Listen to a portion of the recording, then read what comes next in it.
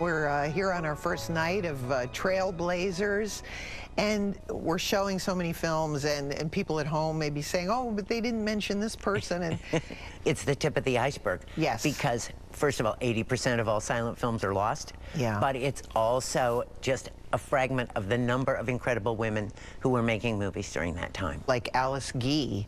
Uh, tell me something about Alice Guy. Well, Alice Guy is more than just one of the first women directors. I mean, she was one of the first directors, period. Mm-hmm.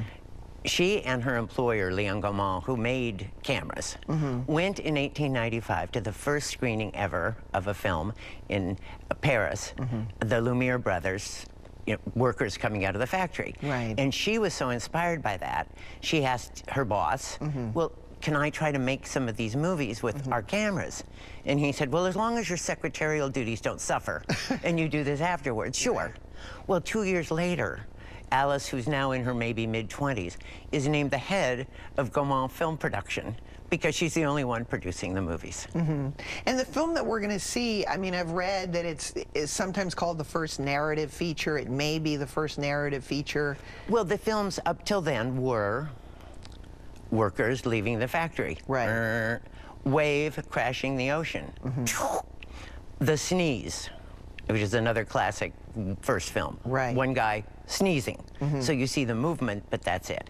The Cabbage Fairy is considered the first narrative film because it does tell a little story. Mm-hmm. which is amazing. And then her, her next film, she goes into bi- bigger budgets and and tell us some about some of that the film, the birth, the life, and the death of Christ. Well, and that is about, what, seven or eight years after. Mm-hmm. So we, we see the development already.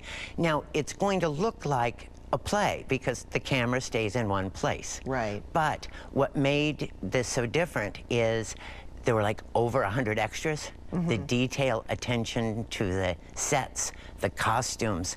Actors are walking in and out mm-hmm. of the screen, which is new in 1906, mm-hmm. believe it or not.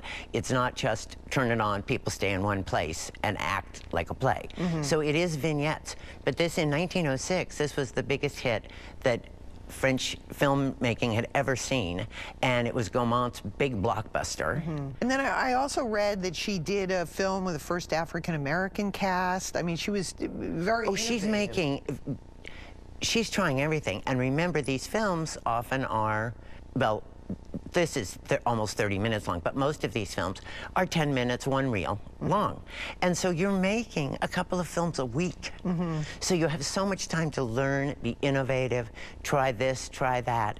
And as short and as little as The Cabbage Fairy is, you do get a sense of what a woman's gaze can do to a film. Yes. Well, Cari, here we go. I'm so excited to see from 1896 the TCM premiere of The Cabbage Fairy, followed by The Birth, The Life, and the Death of Christ from 1906, directed by our first trailblazing woman and the first female director, Alice Guy.